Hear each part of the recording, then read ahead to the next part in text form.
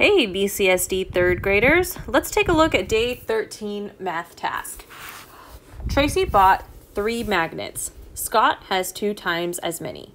Then Scott buys one more. How many magnets does Scott have? Okay, to get an understanding of this math task, we need to really uh, understand or point out the, the math language being used here. We start off with Tracy bought three magnets. Scott has two times as many. Immediately, when I hear two times, I'm thinking multiplication. Okay. Then Scott buys one more. Even though the number one is written out as a word, it's it still is very important for me to note that he has one more. So that is making me think plus one because the word more should make me think addition. How many magnets does Scott have? Okay, so going back to the beginning, Tracy bought three magnets, and then Scott has two times as many. So three times two, because um, Scott has two times as many as many what?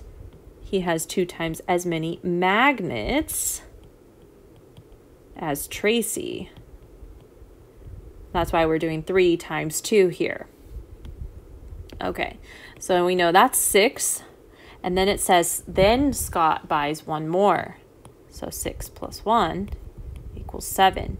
How many magnets does Scott have? Scott has 7 magnets.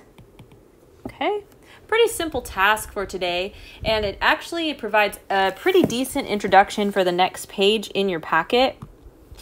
Um, the next page introduces the idea of expressions, mathematical expressions. You may think that this is kind of strange at first because as the directions say, an expression an expression does not have an equal sign. Uh, we are used to looking at equations right? Like 2 times, I'm sorry, 2 plus 2 equals 4. 2 plus 2, it has an equal sign and it has the answer. So that is an equation. An equation has the uh, you have to make both sides of the equal sign the same or balanced for something to be an equation. An expression, though, does not have an equal sign. So if we write this very same thing, if we just leave off the answer, 2 plus 2, well, now all of a sudden that is an expression and no longer an equation. So you just have to be okay with there just not being an answer, okay? Now, the big deal uh, about this is that um, in numbers 1 through 4, for example, um, they're providing you with again more mathematical language just like we had in the math task like the words two times. So you have to look at those uh, numbers and then you have to, i suggest you read them out loud and um, think about the type of math that they're asking you to, to do. And then you're going to write the the expression that matches the words that you hear um, for example, number one, four more than seven. Okay, four more than seven. Well, to me, that sounds like four, um, uh, seven plus four, because I'm starting with seven. And four more than that, four more than seven would be seven plus four.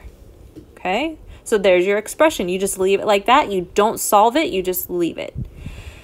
Two, the total of five rows of six chairs. Okay, the word rows, that clues me in to, that makes me think of an array. And arrays, that makes me think of multiplication. So, 5 times 6.